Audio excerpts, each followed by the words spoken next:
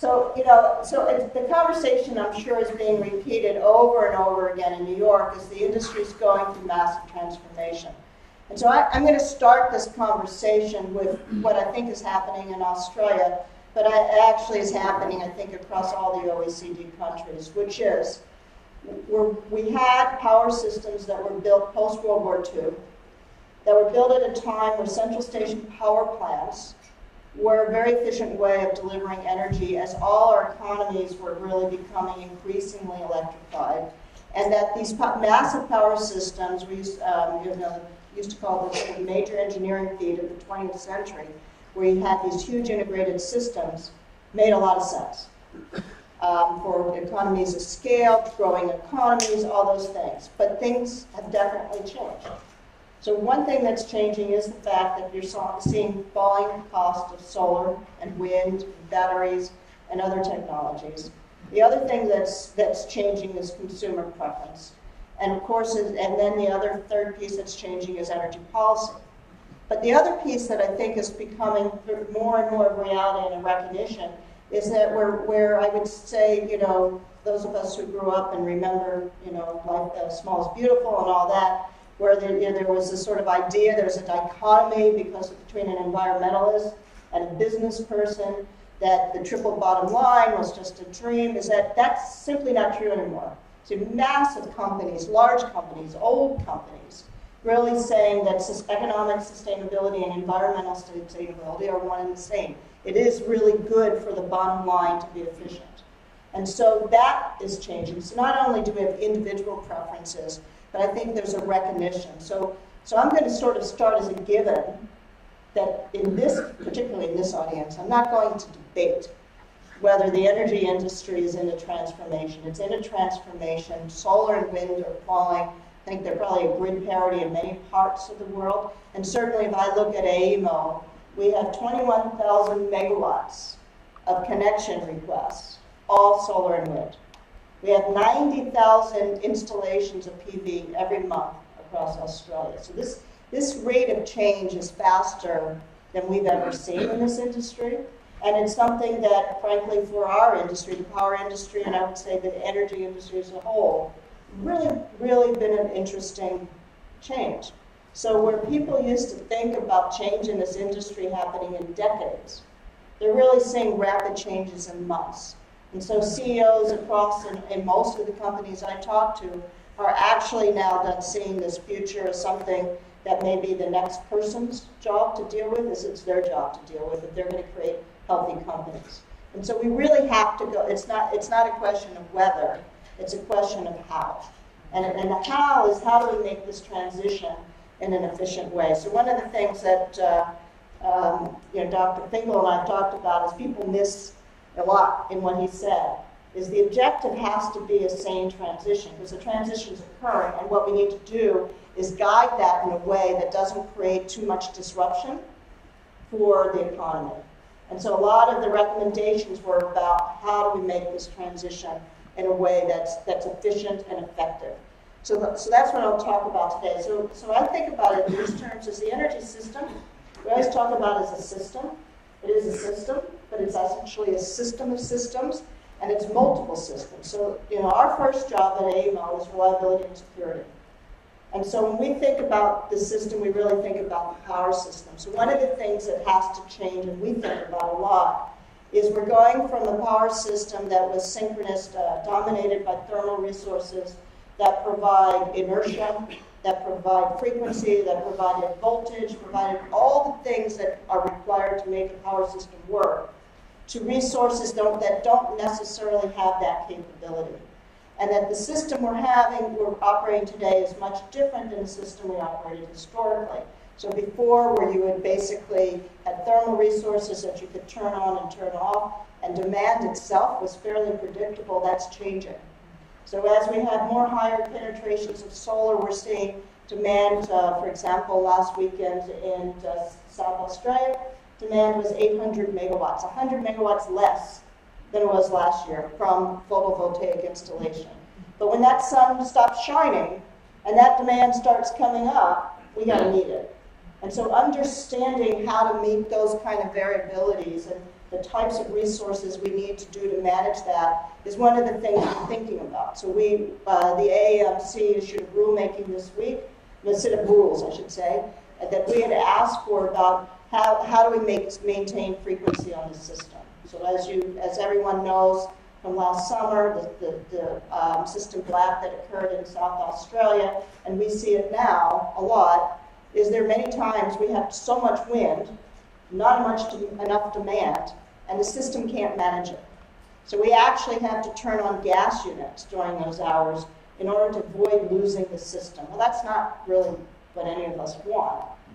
So we have to design the capability to manage through that. It's not a question of a preference for one fuel type or not. It's a preference for making sure the system is still a physical system, still needs inertia, still has frequency, still has voltage, all those issues that we have to solve for. So we're dealing with those issues. The other question is, is the issue that we saw us raise in our advice to the, to the government last week, was around um, what I would call, we say dispatchability.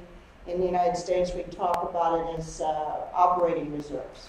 It's the capability for the system to respond. Again, it's not just it's maintaining the system, but it's also saying if we if the wind stops blowing, something has to increase because if customers are using power.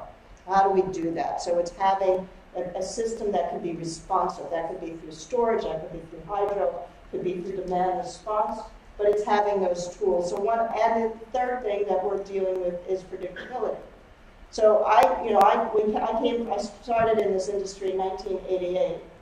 And one of the things that we used to sort of always guide and look at our operators to do is what we called PJM perfect dispatch was their ability to use a learning algorithm to say, well, if it's going to be uh, 20 degrees and it's a Wednesday and it's um, during a period of time where people are at work, we should be able to look back and figure out what the demand is going to be. And what I rated my operators on was how good they were at being able to forecast so that we weren't we were running the right units and that we weren't running too much or too little. So we called it perfect dispatch because they would a day before, so today they would planning for tomorrow. Well, guess what? That doesn't work anymore because you know cloud cover can change, everything can change. So every year it's a little bit like it's it's not Groundhog Day. It's actually a totally different day. And so the tools that we need, and this is where we need the universities to help us, is to create these learning algorithms, these neural networks, these very smart AI, to start dealing with all the, the variations that can happen in the system. So a lot of what you're clear about the AEMO doing is actually saying these resources can work, but we have to be a lot more sophisticated, a lot more granular, a lot more precise, because that's the way the world is, is headed, so that we can signal to the market exactly what kind of capabilities the system needs to have because the system is still a system. So, that, so that's one thing that's changing. The other thing that we're going to manage through the transition is moving from the power system that was one way to truly two way, and that's that's really the reason, one of the major reasons I was so excited about coming here and thought of this huge opportunity we have in Australia. So, so something that happened in this electric industry in, the last um, portion of the 20th century and the first portion of this century is that generation became more and more competitive. So we created good markets like AEMO, where, where generators were not owned by incumbent monopoly, they were separately owned and we were bidding and trading electricity. And so that, that created a lot more efficiency because what we we're doing is maybe managing the resources better. One of the things that, that we have an even better opportunity to do is actually using demand. So the system was built up on the idea that demand was inelastic, which it largely was, and that therefore you always had enough resources not only to meet the demand, but if the biggest resource fell over, you could immediately turn on something else and meet the demand because the demand wasn't going to go away. It was pretty inelastic. Everyone was going to not change. Well, that's changed, obviously. But what's more importantly is that we can use distributed resources. People call it the democratization of energy where we can use rooftop solar, we can use storage, we can use electric vehicles, we can use hot water heaters, we can use um, actually smart thermostats to actually think about how to make the system more efficient. Because what, one of the things that is sort of the hallmark of the power system is because electricity is the only product that really readily can't be stored. It has to be consumed and produced simultaneously. Is you always needed a lot of reserves because just in case something broke. You didn't, couldn't put it in a water tower or a tank or anything like that. You had to have a generator that was ready to go. well, what if instead of creating more generation, we use demand? What if we can use these resources that are sitting behind the meter? If you're putting in solar and you're putting in storage, you have electric vehicle, or you can store energy in your hot water heater and use that at night. How do we use those better? So that rather than building another peaking unit to just be there just in case, and transmission and distribution, we start to use demand better. So we're using the resources and making the system more productive. So the major you know, innovation now that's now occurring is that rather than thinking about rooftop solar and these things as a threat to the power system, actually they're a new customer group. And the role of the power system is to aggregate and optimize those to drive productivity throughout the entire system. And the value then is saying that what we're changing in the power system is we're going from something where you had a bulk power system where you have generators meeting demand, and demand, the usage itself being fairly passive and, and I would say dumb, to smart demand, where it's actually responding to a price. I'm not, I'm not going to turn people into uh, day traders for energy, but if you set your thermostat and you have a Nest thermostat, and the Nest thermostat is reading a price, and you've told your provider that if it goes above a certain amount, you can turn my thermostat up a couple degrees, I don't care. You can char- you can circulate my pump you can circulate my hot water heater. All of a sudden, that's 700, 800 megawatts. Two power plants just sitting in the cities that we can use. And that drives value. It helps reduce price. It obviously helps reduce emissions.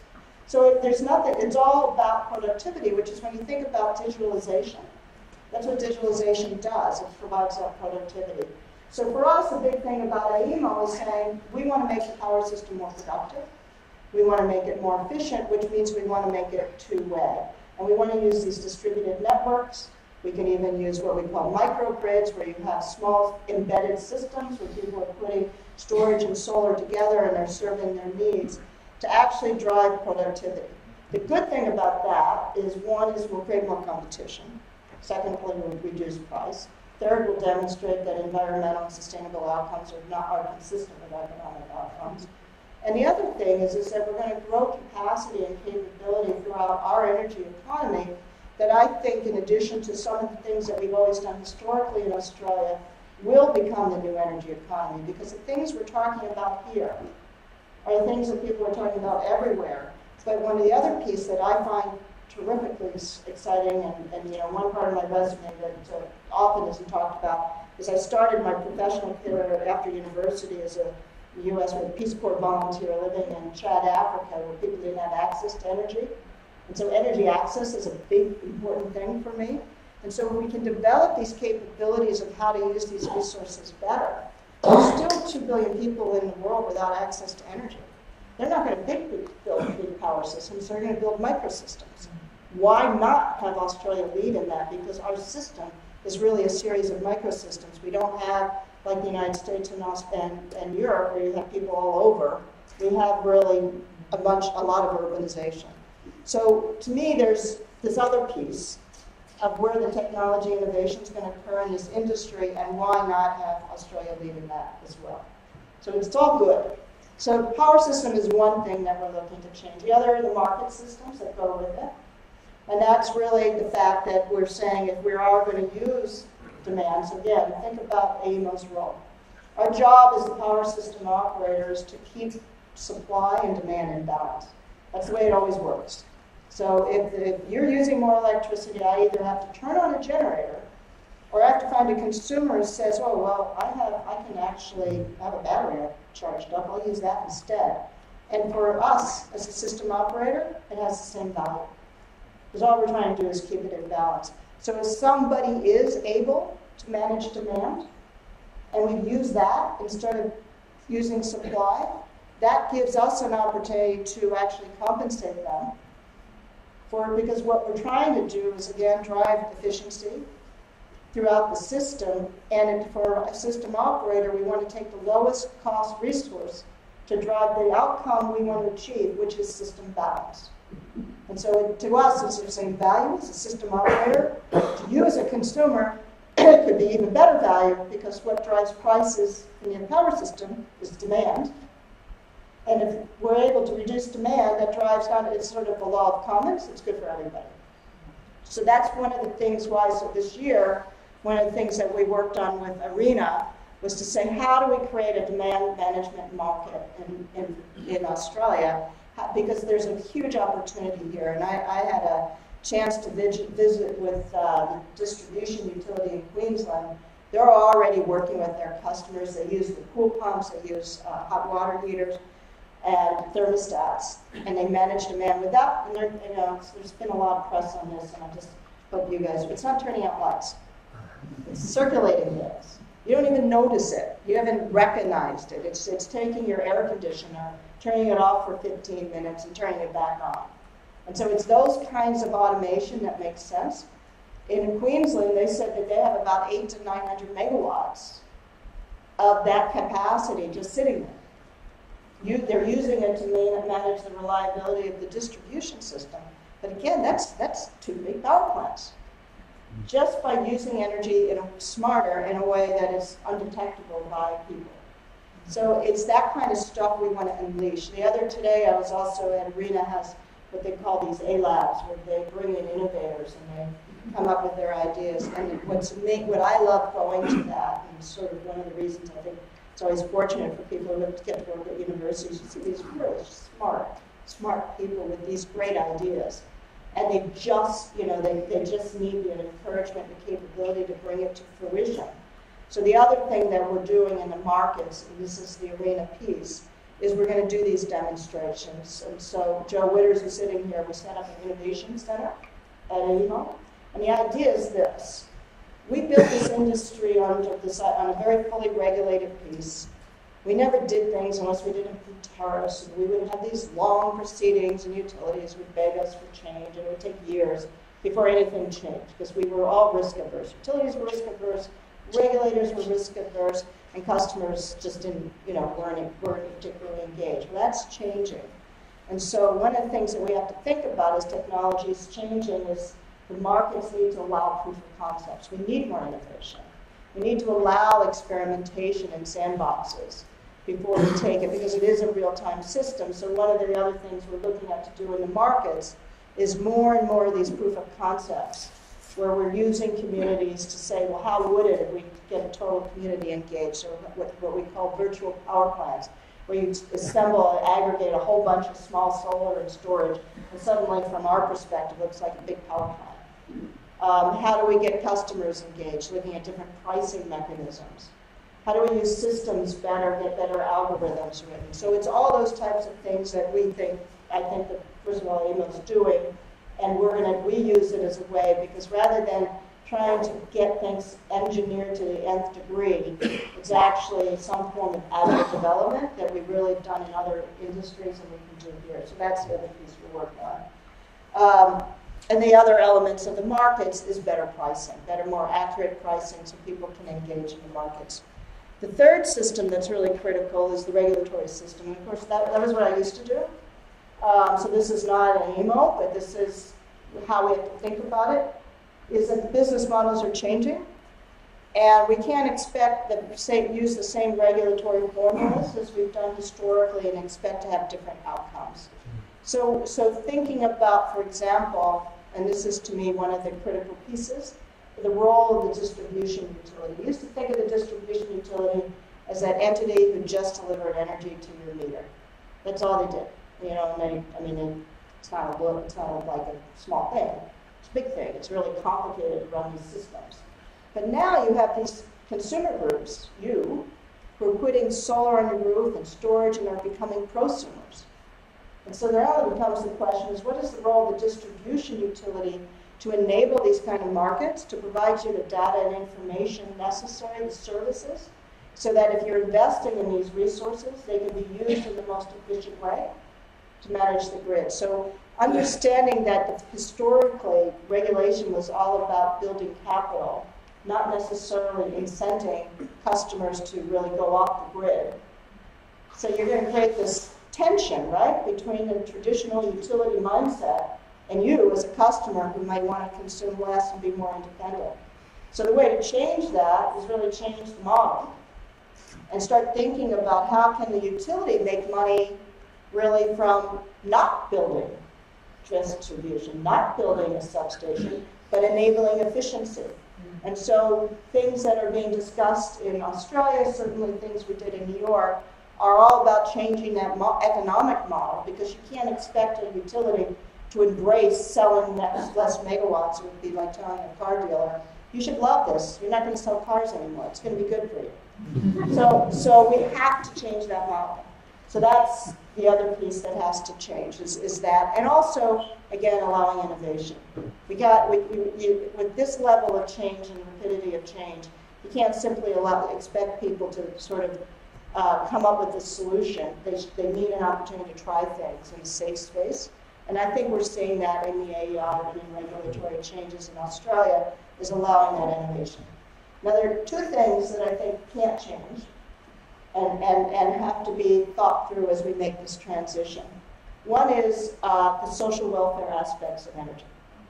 So we still have a very much of a major issue around ensuring affordability. And you know, for some, many consumers, thankfully, energy, even with prices I know going high here, if you look at your overall income, you know, most consumers are not making choices, but many consumers have to. And so it is an essential service that is not going to go away. And so we have to think about what are the, you know, how do we provide that social good? Some of the things that people are thinking about in this industry is a difficult issue is that, and, and we saw this in uh, New York, where historically, and I'll put this in Aussie dollars, historically the average income in New York that put solar on their rooftop was about a quarter million a year. Mm-hmm. That was the people who were putting solar on their roof. People who were making $60,000 a year weren't putting solar on the roof. A lot of them didn't have roofs because they lived in uh, multi-unit buildings, right? So the problem then becomes if there's grid defection, but you still have to manage the grid. The cost of this grid, this network, which is older, is putting put more and more on those who are left behind. So it creates a difficulty. One is they don't have access to the new innovation. And the second is they're going to be paying more and more for the electricity. Those costs won't go away. They're socialized, right? And they stay the same. So we have to think through in this transition how do we make sure that the boats are lifted for everybody, that there's access and there's business models so you're not creating this, this diseconomy, and which makes it more expensive. So it's those kind of pieces I would say don't we don't talk we, we I mean people talk about we're talking about affordability a lot of studies about it but understanding that that electricity is, is a common good in many ways and that we have to preserve that commonality is, remains important.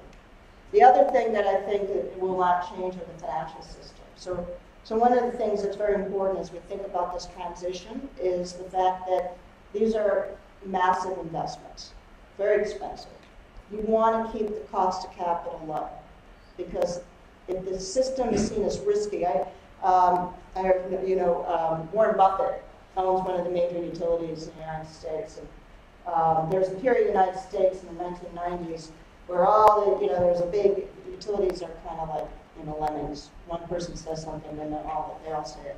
Um, and so the thing that was, was like, oh, we have to have 10% growth. Internet is doing 10% growth. We got to do 10% growth. And year over year, 10% growth. There was no utility ever grew at 10%. But all of a sudden, they all felt like their income had to grow at 10%. And Buffett made this very nice pronouncement. He said, well, frankly, he, you know, he wants his electric utilities to be a good investment, not a great investment. That's why he invested in them. They're a bond. And so we have to think about that this is a, these systems are expensive, they're highly capital intensive. Um, one of the issues in Germany was that the loss of capital in, the, in the traditional industries which becomes very expensive for consumers. And in an economy like Australia, we had the same issue in New York, we could not afford for our utilities to become bad investments. And so having, and then also as we're investing in generation, in solar, anything, wind, right? You want to have predictability. So it's going to be very, very important as we make this transition that the financial markets see them very predictable. That's one of the things they talk about. You know, certitude, predictability around policy is very important for them. Then they can figure out their investment strategy. But uncertainty is what leads to capital strikes and, and change. And so the other piece then, and, and you've heard me, I think you've probably heard me say this, that's why this issue of affordability is so critical. Because um, public policymakers understand demand degradation, whether it's because people can't afford it or because companies go elsewhere or can't afford to expand because energy is too expensive is a bad thing. And that's what's going to cause governments to intervene because it's a public good and they almost have to, which is going to cause investors to get worried, which is going to cause them to raise their cost of capital. And so it all sort of starts to swirl, which is why the, the, Finkel, again, turning back, his blueprint talks about certainty, predictability, and having a smooth transition. I don't know if that was his reason, but I'll add to it because it's very important to keep this financial system also wanting to invest in this sector with a great deal of confidence that they know the rules of the road and that they could therefore at least have managed risk outcomes. So those are sort of the way we see it. Our focus is obviously on the first two, but the others have to work in order for us to be able to do our job. So um, that's it for me, and I'm happy to answer any questions and um, anything else you might want to talk about. Thank you.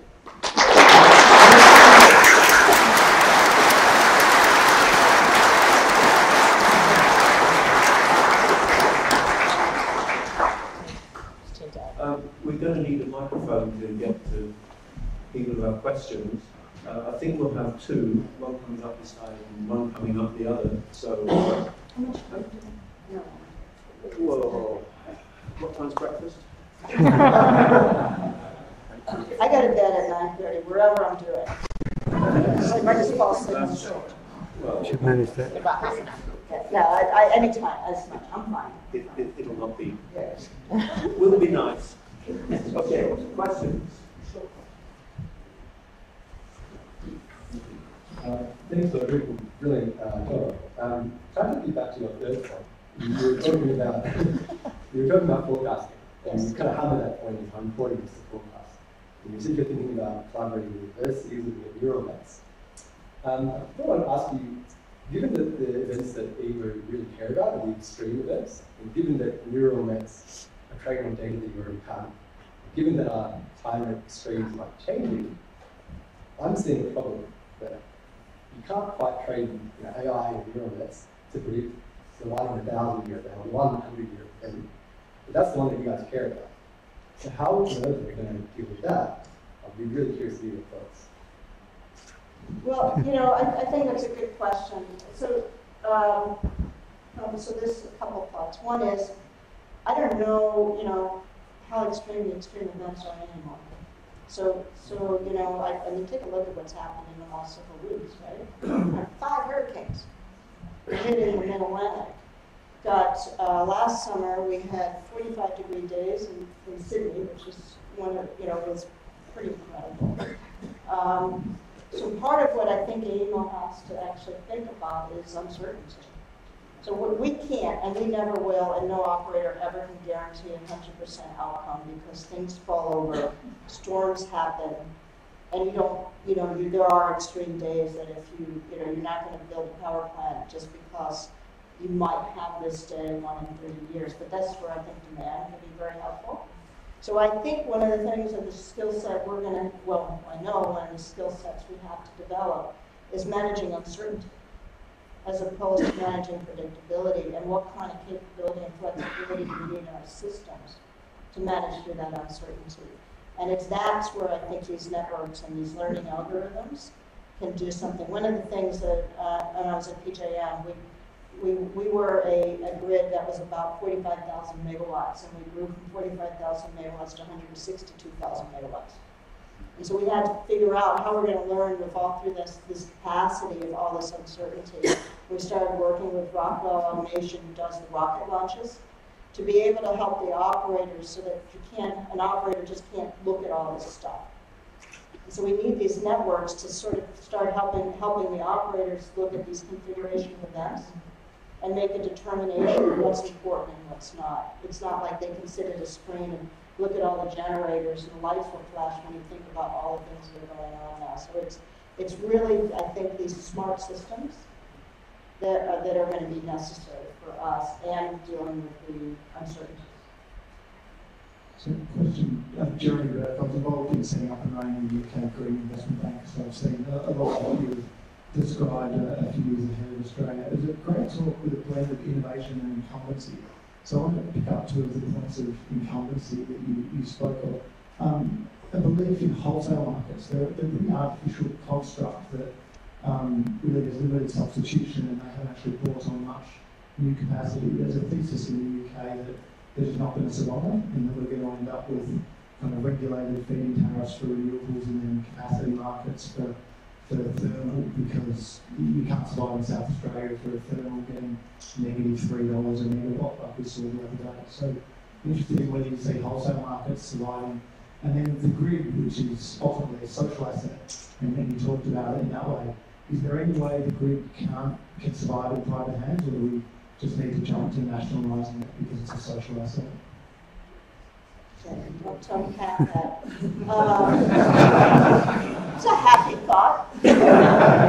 so, so one is I think the wholesale markets will survive. They need to get more. They, they have to get more complex, more granular, uh, because now. So what, I look at it this way. The, when we do, we have an energy only market. In, in Australia, we don't have a capacity market like they do in parts of the U.S. The, um, but when, when we to design the market, we were able to pay for energy only.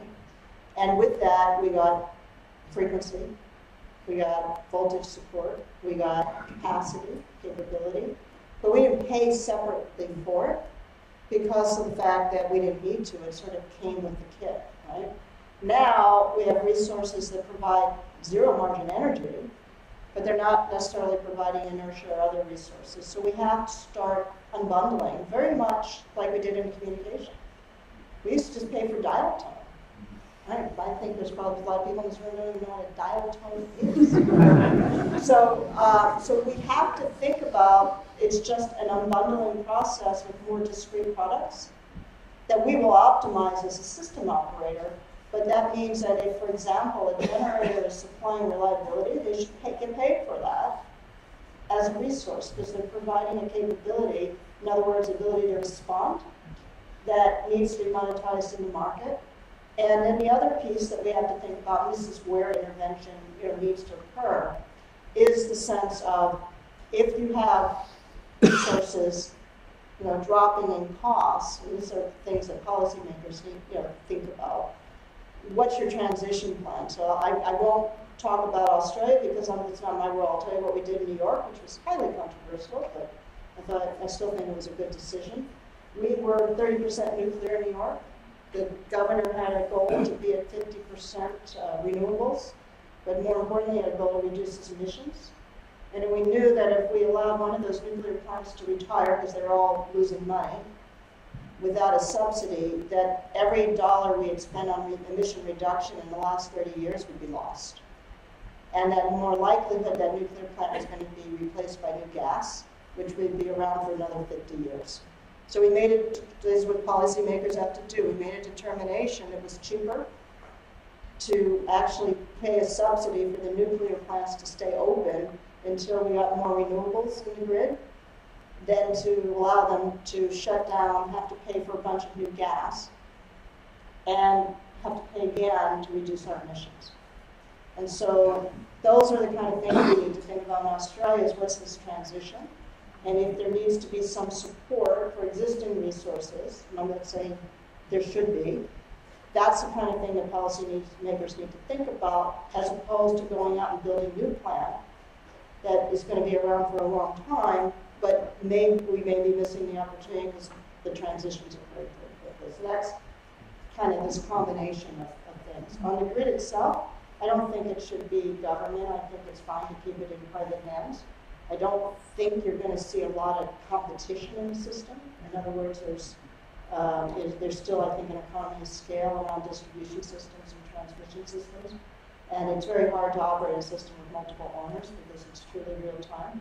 So I, I don't see any reason to socialize that. I think the markets can be more exciting. The other thing that's going to happen is what I call vertical coupling, which is, is that rather than the markets just being the bulk power markets, now you're going to have the just retail markets. And they're going to be coupled and they're going to have greater depth and variety. And so, you know, when you see people doing blockchain and really interesting transactive energy at the edge of the system, that's only going to happen if you have wholesale markets. Because you're, you're really, it's really a supply and demand and equation, and demand is now much more efficient. So I think in the countries that don't have markets, they'll be slow to the game in this level of innovation that's happening at the green edge. Yes, uh, I mentioned the storage question. Um, apparently, we have some hundreds of uh, sites for small to medium pumped hydro that really could be turned on quickly. What will it take for these to happen in the short term? Um, that I don't know. I mean, I don't know what the price signals are. I know that, that that's being looked at, and I, and I certainly know from everything that the uh, Prime Minister said that he sees this as a huge asset. So um, I would, I would think that it's the kind of thing we'd want to do, right? Which just gets to my point. We wouldn't want to just send a market signal if we're really, you know, if we have a combination of an emissions goals along with, with price goals is to take a look at these resources and figure out what kind of market design it's going to take to, to actually get them up and going. So I, don't know the answer of what it would take. I know it should be looked at and see if it's not happening organically in the market to understand why.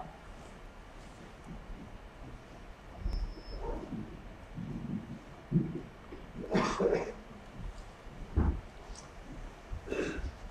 Audrey, for a very good presentation. I'm Swin, I'm a PhD student at the Australian General Climate Ministry College. And uh, um, uh, according to the uh, uh recently published report from AEMO saying that uh, there are uh, possibility, there are uh, likelihood of the shortfall, power supply shortfalls around 26 to 40 something percent in South Australia and in, uh, and in Victoria. And um, if the unprecedented events occur in uh, these two states, these, these two states, what are all the action plans in the um, uh, contingency that you um, in response to that? So just to be clear, what we AEMO forecasted is that if we did nothing, we would have a risk. But we, we did not do nothing. We did a lot. So uh, we've been working with all the generators and the transmission folks to make sure that they're ready. We've been making sure that there's fuel available.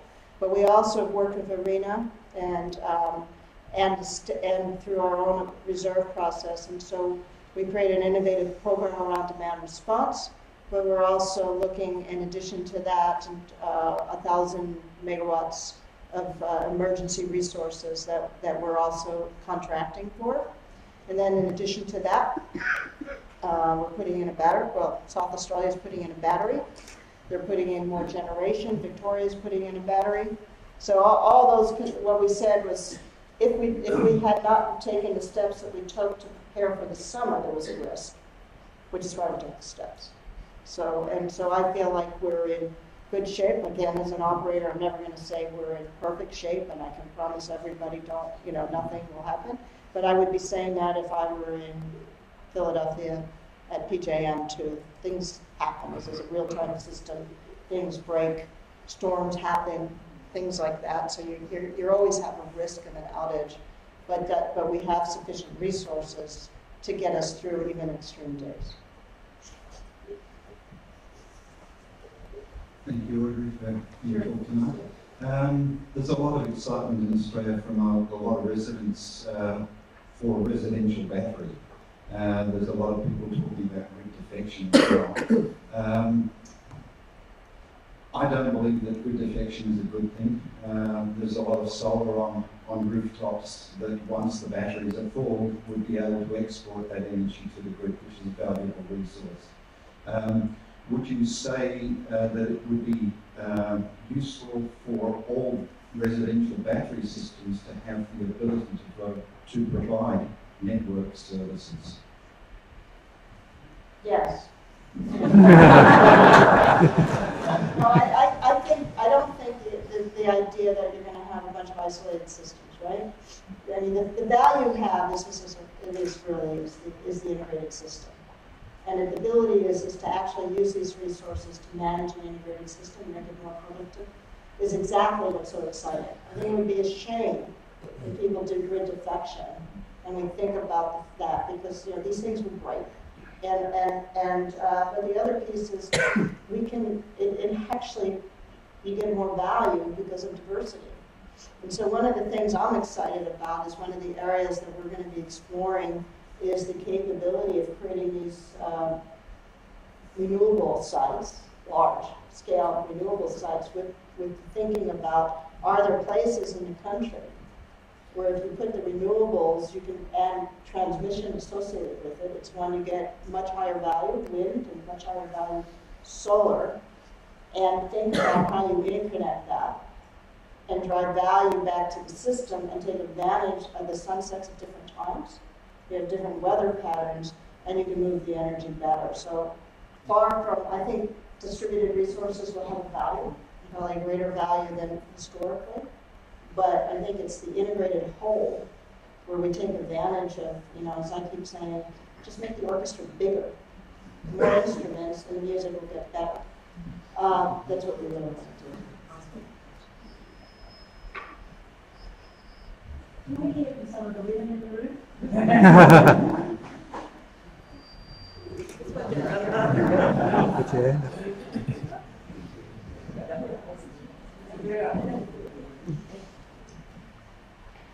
Thank you. I wasn't going to ask a question, but after that. My name is Andrea Bunting. Um, thank you for uh, that fantastic talk. Um, very impressed that you've managed to get demand management on the agenda Commission and, and now I really have hope that something will happen this year. We seem to have dropped the ball in Australia on energy efficiency. So we we're having this whole conversation around energy prices and you know massive energy bills, and it's all around the supply side. So um, the demand side, in terms of, of demand side management, is is great. But can we also how do we also get that energy efficiency back on the agenda? Um, strong regulations from government, I think, is what required, as well as if there's anything that, that you could do to shift the agenda around as well. Uh, well, you know, again, it's, it's sort of, um, that's not where AEMO's role to, to determine policy. But I, I, mean, I'll just tell you, I think energy efficiency, obviously, the, the car, the electron we don't use is the cheapest and probably the cleanest, so it's not a, it's a good thing. I think, um, you know, certainly if we can make the markets more vibrant around demand markets, there's an opportunity when people are putting in these resources, you are becoming necessarily more efficient and you become more energy aware. So the likelihood of being able to develop those markets for energy efficiency makes sense. But I, am going to have to, uh, as much as I would love to, it gets me in trouble when I step that far out of my patch.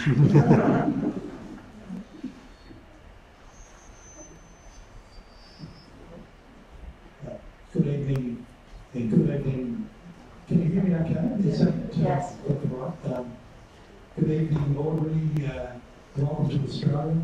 Um, The question I've got is uh, something which has just come out of really left field. Uh, You mentioned um, like we're Australian, Australia, we could sort of export our technology to other countries uh, for um, in solar or wind or, whatever. Um, many years ago, our telecommunications company Telstra used to do that, go to a lot of uh, third world countries and give their expertise and technology. Ha- Have you actually identified any Australian companies that can step into the breach and do that, or is it all AGLs and Elon Musk's and uh, at Origin? At AGL, its origin. Um, so, yeah, you know, certainly, I mean, there's a few things I see at ARENA, like Wingsync, Posigen. I mean, there's some really fascinating companies. Um, the um, so one in Perth. Hmm? I was going to say the what watches. The what? What watches. The, What, what watchers? Um, um, but Charles, you have a bunch. Yeah. Reposit. I mean, there are a lot of s- s- companies that are really doing fascinating things around this, and I, um, a lot of, a couple of really cool, some really cool blockchain companies are looking at things. So I, I, um, all that. Um, ARENA actually invested in a company that is now producing solar, solar voltaic cells, the cheapest in the world.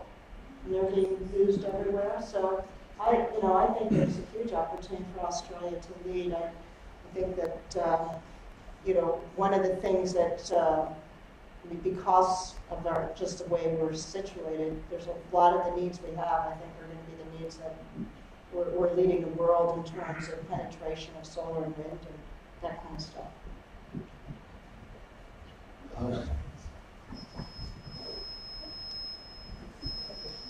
Oh, hi, sorry, yeah, I didn't but, yeah, one, I think it's fair to say that one thing the national electricity market hasn't delivered is new transmission. And, uh, one of the things, uh, my understanding of Finkel is that he was saying is that, uh, AEMO should identify, uh, new transmission lines to connect renewables. Uh, I, I think a new line to South Australia would be a fantastic, uh, thing, it would basically make South Australia more reliable if a new built. Does AEMO um, got plans for looking at new transmission lines? Yes, yeah, we do. So, so our, I mean, that is the regional planning role that we, we've, we've been, uh, are assuming under the Finkel. So it is to look at not just interregional, but interstate. And um, Alan went to Texas, where he met with the folks there. They have something called the CREZ project, which, anyway, the, Texas, what they did is they, similar to a lot of places, solar and wind was all in West Texas. People lived in East Texas. So the government went and said, well, why don't we build a transmission line to, to move it? And it's that kind of things that you're seeing where, where we could be looking at these projects and um, identifying the best areas and then socialize it, make it better. But that's, would be AEMO's role and something we would do with the transmission asset owners. And I, they're very, you can imagine, anxious for us to get going on that. Uh, James Brown uh, from National University in our engineering area. Um, I'm a traditional engineer, so you know, invest. And I'm a lawyer and I've just played an engineer my whole career. I have played as an engineer, which may be a good thing. Uh, I, I, I'm very impressed by your talk, and, and one of the things I've been telling our students is that all sorts of things are coming in to the industry, in, actually every industry, which will dramatically transform uh, what's going on. Um, but my particular hobby, is what the previous speaker was about uh, transmission. Um, my back of the envelope calculation indicate that you can put a major incremental investment of about $10 million into major transmission. Uh, and the average cost per megawatt hour delivered would be only two or three. It's trivial compared with the variations in market prices we've been seeing. And it does solve many problems. I mean, you don't have a market. We're only five separate markets. And you don't have a market if you can't transport commodities. And the east-west type time zone, the ability to put renewables where they're most cost-effective, really relies on transmission. It seems to me a fairly good path to go, but, you know, can you find groups that want to put up that money to build a regulated um, asset? Yeah, they do. Yeah, I mean, yes, so I don't think that's going to be an issue. Historically, we've had a bias towards just allowing the market to solve issues. And the way I'm thinking about it is, is that you know, we, we built this system by engineers who did low power flows and all those things. It's not going to happen by accident, and it, as you know, it takes 10 years to build transmission if you're, everything goes well. So it's going to have to be a planning activity around where are the best locations in the country to site these from uh, overall economic, and then uh, I, you know, a process so that we get people to, to the table. But I, I have no, no. We talk to the transmission owners. They're very, they, they would very much like to, to be looking at that. We've had some, we have some regulatory challenges to go through that we're going to have to go over, but RIT-T is one. But I think we can, you know, with AIM, of- as a- I mean, this is where, yeah, yes. I would think, because the possibility, well, you introduce a proper market, yeah. single market, so you don't have the manipulation of prices in markets that we're seeing at the moment.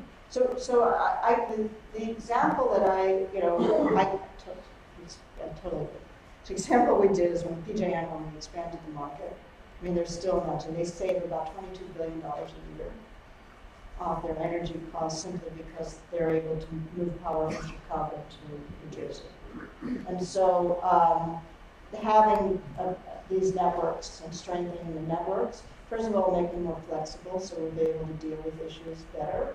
Secondly, it allows for us to take advantage of diversity and make better use of assets. So I think, I think, and frankly, I think one of the things that people saw the States and is not talked about here as much is that um, for renewables, because renewables tend to be the best wind places and the best solar, tend to be further away from where people live, is that transmission, which used to be a dirty word, you know, people, when I was doing transmission in the eighties, you know, people would come over and knock over the towers because it was, all about importing coal.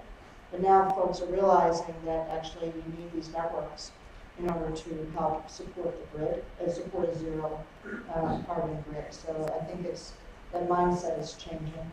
I, I think And you can do things, you know, towers are no longer lattice anymore, they're not as, as a. But, but, ladies and gentlemen, I, I have to interrupt you, sort of apologies.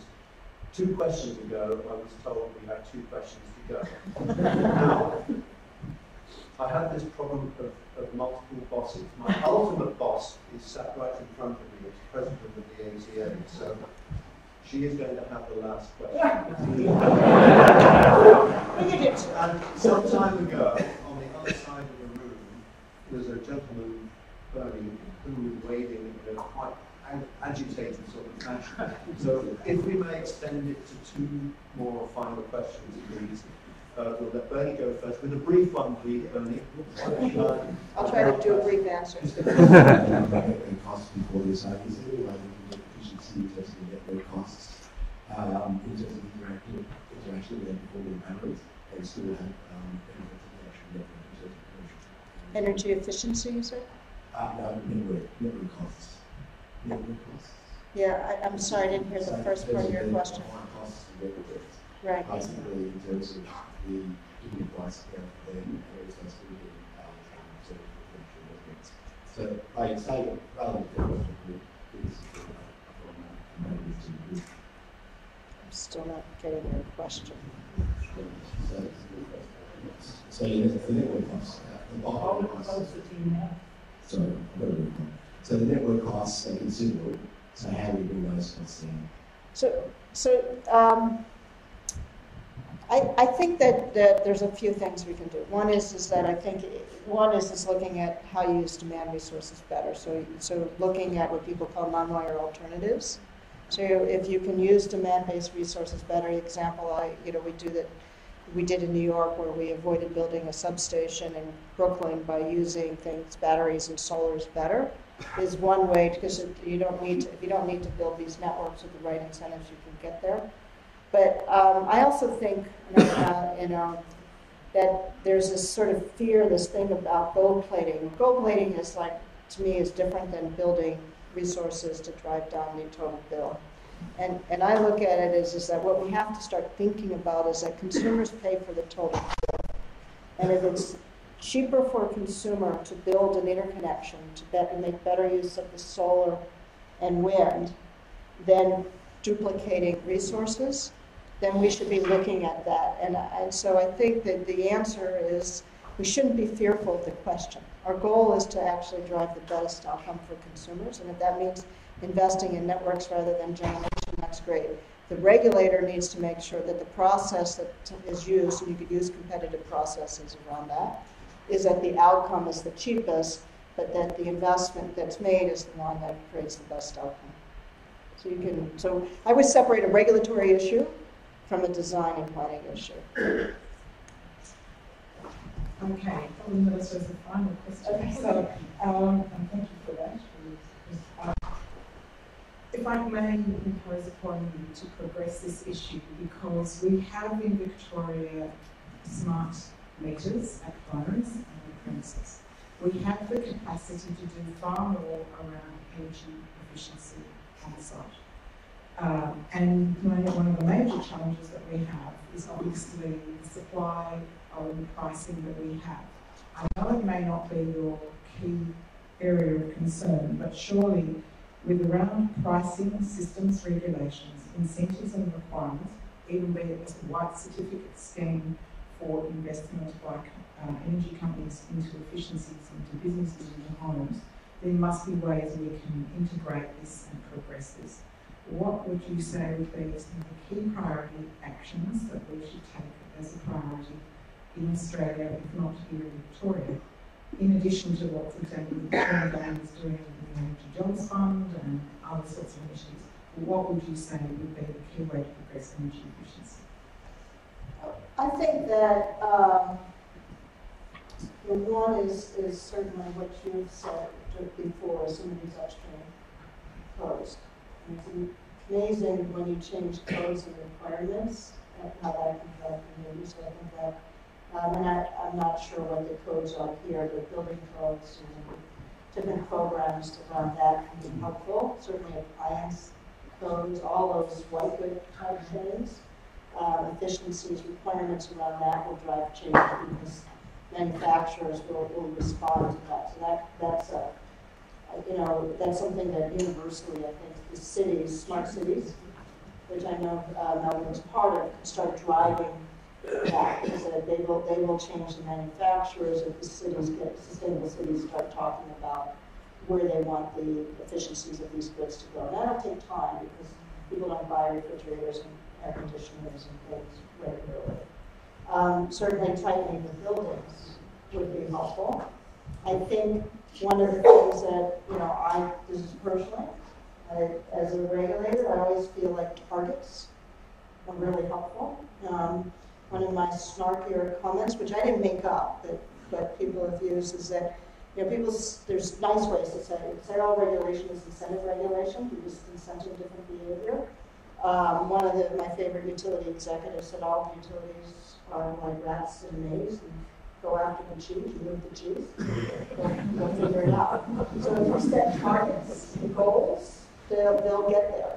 And I think um, one of the things that's not talked about is just what's the market potential. How do we set a target towards that and then design our programs towards achieving those targets? So I, I would say having that real discussion about what, could, and then what we can provide, of course, at AEMO is, well, what's the alternative? If we're able to take uh, reduced demand by 10 people. Well, thank you all. It's been a pleasure.